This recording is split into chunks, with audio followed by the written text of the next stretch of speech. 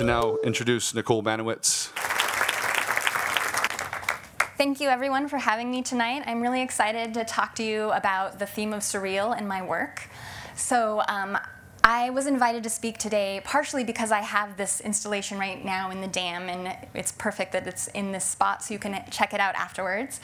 Um, when I was originally asked to talk about surreal, there was a moment where I felt kind of unsure about the theme because my work is really based in the natural world. It's based in a lot of scientific imagery and things that are very much real. And so there was a moment where I was like, maybe I'm not the right speaker for this topic. But as I sat with it for a moment, I realized that half of my artist statements use the word surreal to describe my artwork. So I, I thought that was interesting. There's sort of this dissonance between the idea of surreal and the feeling of surreal for me. So I started to look at like what is surreal, and when you look first at surreal, it's defined through the art movement of surrealism. And surrealism is a, a movement from the early, early 20th century, and we all know a lot of the artists that made surrealism. Two of these examples, this is Dali and Magritte. And the idea of the surrealists is they're really interested in just taking everyday objects and mixing them up in a way that you wouldn't expect. So you have something like a fireplace and a train and a clock, and these are all things you would see in your everyday life. But they pull you in, and then you see, like, oh, these are mixed up. So the first thing is there's something that you recognize. And that's the great thing about surrealism is that it appeals to everyone because we recognize something in it that we can feel comfortable thinking about. So it's sort of like a hook and it pulls us in. And then suddenly we're like, wait, this isn't what we thought. These things are mixed up. It doesn't make sense. And so suddenly there's a question. And I'm really interested in the question. And I think early surrealism was kind of interested in these like random objects pulled out of our subconscious mind, whereas I'm more interested in a curated question. Um, so I went kind of further to another kind of simple um, definition of surreal, and it's just that it's strange because we're mixing things that aren't usually found in reality. And for me, it's really about taking things from reality and mixing them together. So this first piece of mine I'm going to talk about, it's called Rhinos and Sea Anemones Fighting. And I think it's actually probably my most like straightforwardly surreal piece because I'm taking two things that don't belong together and I'm mixing them together. And so maybe in like traditional surrealism, it might just be something that I had a dream about once. But I, I'm more interested a little bit in like storytelling. So I'm hoping people see, oh, there's a rhino, like I recognize that. Now I'm interested, and they start to question like, what is the story the artist wants to tell? And specifically in this piece, I'm really interested in the rhino because I think it's this beautiful, majestic, strong animal. And it has this horn. And this horn is this kind of magical symbol to a lot of cultures. And when we think of the rhino, we think of this strong animal because of the horn. But the rhino doesn't actually have many predators other than humans. And the only reason humans really want to kill the rhino is for this horn. So the thing that when we first look at it seems like the rhino's strength is actually the rhino's vulnerability. And so I thought that this is a really kind of beautiful creature that has this really sad poetic story. And so um, I, I, was working for a while at the Houston Zoo installing a light show, and I would watch these rhinos play every day. It was like three sisters. And one day I was watching the rhinos, and they're like really gently playing, and this little kid comes up and is like, Dad, what are the rhinos doing? And the father was like, The rhinos are fighting. And I thought it was really interesting, this kind of mixed feeling of like, oh, is it playful? Is it fighting? Is it aggressive? And generally, rhinos are pretty um, gentle beings in comparison to something like a hippo, which is actually much more aggressive. But I wanted to look into nature and find something that was aggressive that maybe didn't look aggressive. So sea anemones are actually, they look really ephemeral, soft and flowy, but they're like very like they are very aggressive. So they fight to protect their territory, and like sea anemones fight really dramatically. So I wanted to mix these two kind of completely opposite animals in a way that was sort of interesting and surreal, and talk about what kind of preconceived notions humans put onto other creatures based on the ways that they look.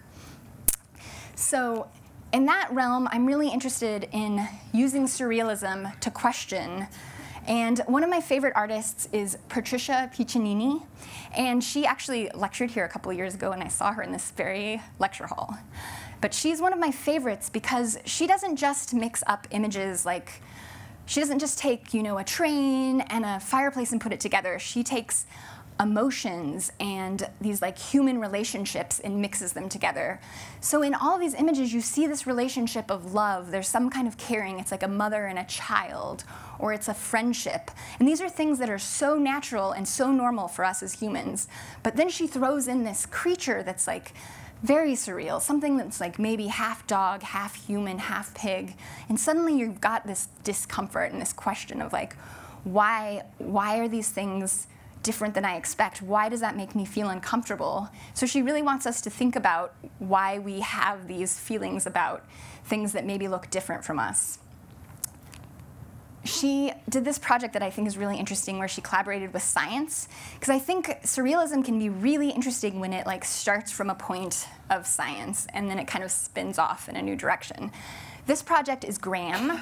Graham was created by Patricia with a group of scientists to show what a human would look like if they were to evolve to live through car crashes. So our technology makes us able to make faster and faster cars all the time, but our bodies can't evolve as quickly as our technology.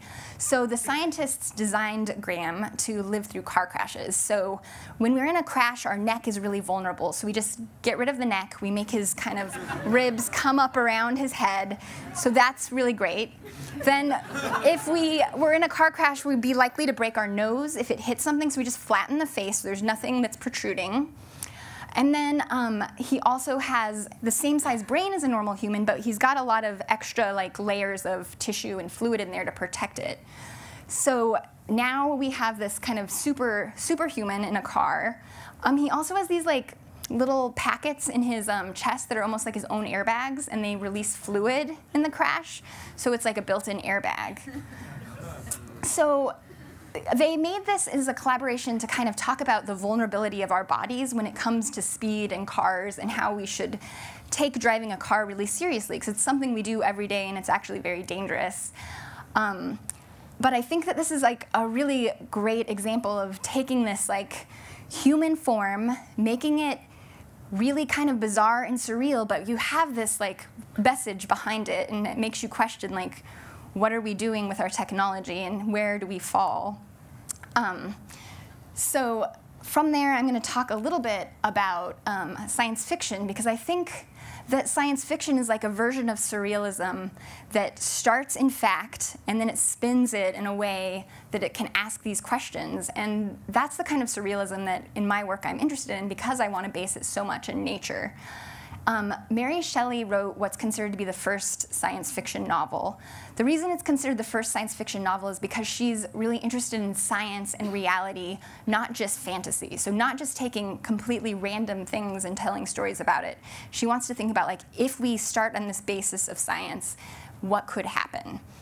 So Frankenstein specifically, I want to talk about because it's one of my main inspirations for my installation, which is upstairs, the incubation effect. So in this story, everyone knows the basic story, but the idea is that this creator, the scientist, makes life from these various parts of a human. So he creates. So I think as an artist, everyone that's an artist is sort of interested in this idea of Frankenstein because it's what is our responsibility to the thing we create? When we bring this object or this life into the world, what is our responsibility? And so in the case of Frankenstein, the creator sees a monster from what he's created and he treats this, this like new being as a monster. And if he had treated it caringly and taught it, it would have become this amazing intellect, become this amazing superhuman, but because he treats it like a monster, it becomes a monster. So in my installation, which is upstairs, I've created this sort of insect nursery. Um, and the idea is I wanted to think of like, what is a kind of vulnerable creature that is sort of like a baby, but is also kind of strange. So I was really interested in larvae. And I think larvae are great because they, they are like the young of a, of a creature, and they're tiny. But if you kind of make them larger, they become a little bit creepy, but a little compelling. You're like, oh, it's, it's sweet, but also kind of scary. I think they're pretty cute, but also when you think about a maggot, it's one of the kind of most disgusting things you can think of as well. But um, I wanted to create this environment for all of these little larvae to live in and give people an opportunity to interact with them. And the people that interact with them, the guests of the museum, actually will impact what these larvae can become.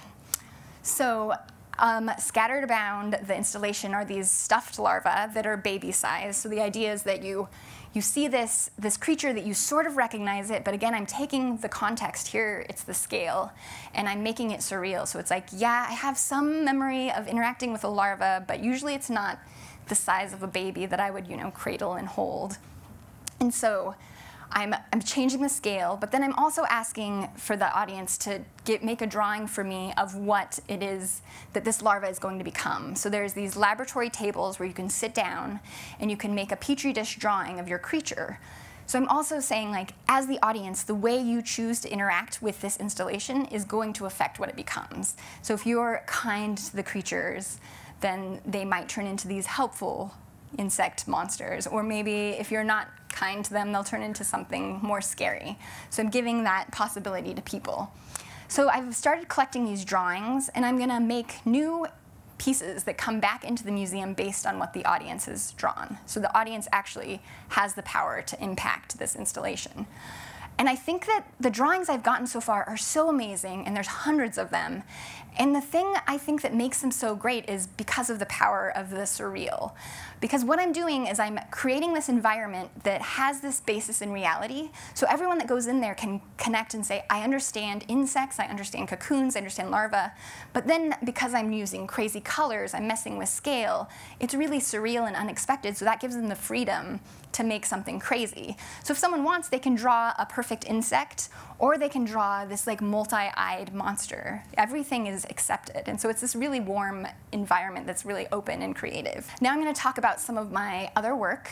This is a piece called Distended Defense, and it's a piece that I wear. So the the fans and the battery are actually inside of the backpack that I'm wearing that's encased in inflatable sculpture.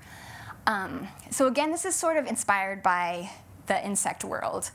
I'm really interested in these behaviors that animals have. They're called deimatic behaviors.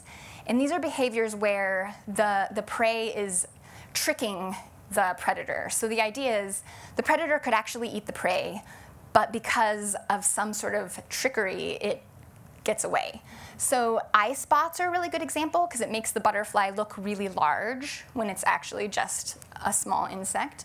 Caterpillars that have multiple like they look like they have multiple heads, so you can't tell if the the predator can't tell if the prey is looking at it or not.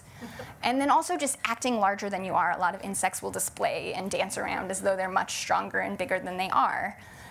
And so this, this inflatable that I made is similar in that I have my human kind of head that's behind the mask, I have my arms and legs, but then I have all of these giant inflatable appendages, and you don't know are they heads, are they tails, it's very confusing. And also the whole thing is made out of fabric and air. So in reality, any predator could just come up and attack me. There's nothing about the inflatable that would really protect me. So the other thing about surrealism that I think is great is that you can go into the world and find things that are actually in the natural world that feel really surreal. So I'm really interested in like finding those stories that I can tell to people that are actually real but have that whimsical quality. So slime molds are one example that I really love because they're kind of uncategorizable. Like they've been categorized as fungus and animals and all these things and we can't quite figure out what they are and they're able to move around and they just look like these kind of slime blobs, but they can have a memory and they can make decisions and they're really great at mapping things. So they, if you take a map and you put food in places that are most highly populated, and you just let the slime mold go, it will map the most efficient route. So in 26 hours, the slime mold can map the route of the Tokyo metro system almost exactly. They're a little bit different. And this is a thing that would take, you know, human engineers a lot of planning, a lot of education to figure out. So I think that it kind of draws, brings into attention of like, oh, what is our idea of humans as intelligence? Like, if this little kind of slime could be just as smart as a human, I feel like that makes us feel a little uncomfortable. It feels a little strange. And so I really like stories like that. So I made this um, slime mold. It's a giant slime mold that was displayed in the Amsterdam Light Festival. So it's hanging above the canal, kind of oozing through the trees. This is about like 30 feet by like 20 feet or 40 feet by 20 feet. That's it in my backyard before I took it. Um, and it's just glowing in the night. So you just come across this bizarre thing, and the lights sort of seep out as though it's like moving through the night. So I think it's great because you start with this really bizarre image of like, what is this thing that's glowing? And then it draws people in so they'll hear the story about the slime mold. Um, the other thing that the slime mold has inspired is a B movie that we all love called The Blob. So I think it's, it's a great thing that these things that are so based in reality can like spin off in these really bizarre turns. Because in the blob, there's a, an asteroid, it like hits Earth, and it has this basically a slime mold on it. And the slime mold just grows and consumes things. And it's basically just like a slime mold. Another thing that I'm really interested in from the world is plant communications. So we as humans are very human-centric, so often we'll get um, kind of surprised by the fact that other kinds of creatures or beings have this these kinds of communications. So just in the fact that we think about like, oh, plants are talking and to each other, that seems surreal to us, even though it might be complete reality. So scientifically, the trees in a forest, they're connected through these kind of fungal networks. And it's a symbiotic relationship where the trees give the fungus a kind of like uh, energy and photosynthesis, but then the fungus spreads messages for the trees. So for example, if there's some sort of insect predator, then one kind of one plant can send that message out to other plants so they can get their defense mechanisms ready. The other thing um, that's there's a book called The Hidden Life of Trees that really poetically talks about plant relationships. And there's this really sad and beautiful story about this, the trees and how they are all kind of supporting each other and they create this family.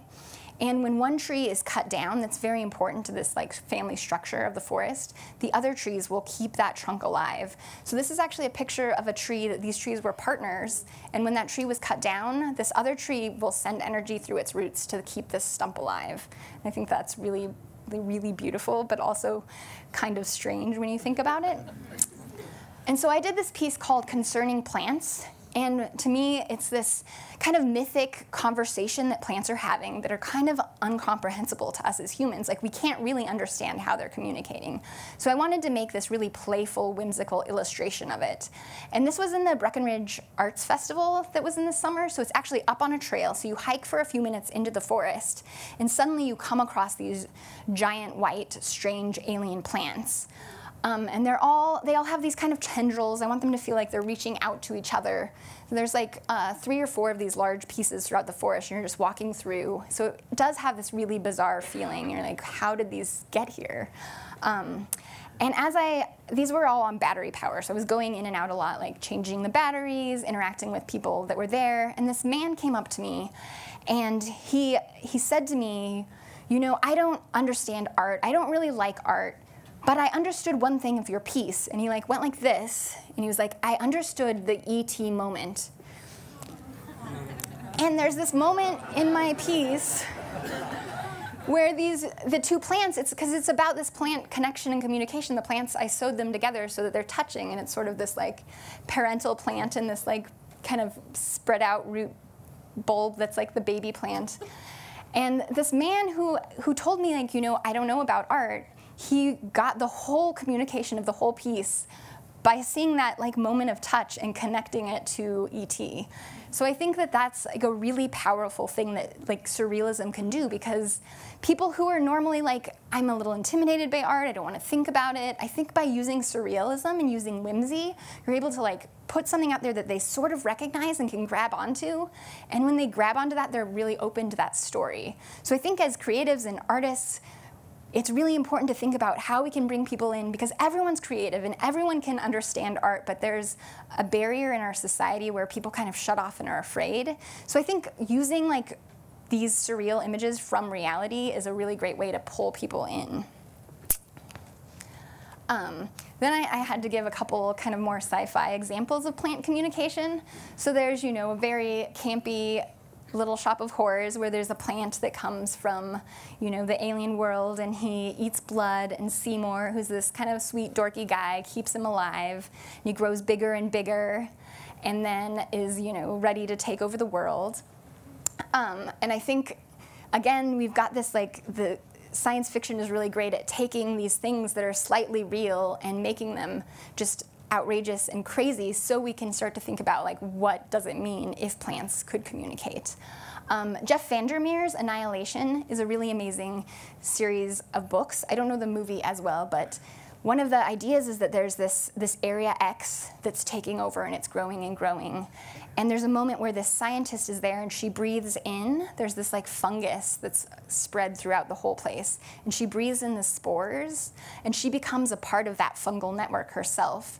And there's this moment where you don't know if like, is this a positive thing or a negative thing? Is she a host for a parasite? Or has she become part of this network where she's now enlightened? So I think again, these like questions are really interesting, and by starting with science and then taking these like outrageous situations, we can ask really interesting questions. Um, I'm going to kind of speed through some of these so we can have questions at the end. Um, but another thing I like to do is just literally look into the world and find imagery that's kind of bizarre and interesting and change like the scale and the context. So these, for example, are stomach bacteria and smallpox. And I made this, this large installation that's on a building. So I'm basically just taking these tiny microscopic viruses and bacteria, making them really large and changing the context. So instead of in your body, they're like over a building. And just by the nature of that, it's creating this bizarre kind of feeling. And I'm able to play with this idea of these tiny things that are actually very dangerous. And then you make them large, and suddenly they're large and playful. And so, again, I think that inflatable specifically is really good with surrealism because you can take things and make such large pieces, and they're really eye catching and they feel just the inflatable itself, it feels solid and soft at the same time. So it has this really bizarre, surreal feeling just naturally. Um, other things that I've found in nature that I think are really interesting are uh, algae. So there's a piece I made called Out of the Bloom that's based off of an algae bloom.